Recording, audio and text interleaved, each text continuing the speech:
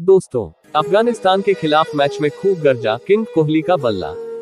शानदार 50 लगाने के बाद भावुक हुए विराट कोहली।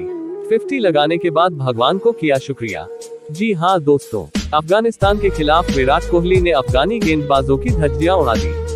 विराट कोहली ने शानदार पारी खेलते हुए मात्र 33 गेंदों में ही अपनी 50 पूरी कर ली।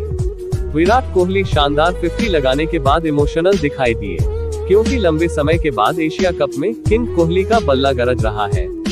इसलिए शानदार पारी खेलने के बाद भगवान को शुक्रिया अदा करते हुए नज़र आए।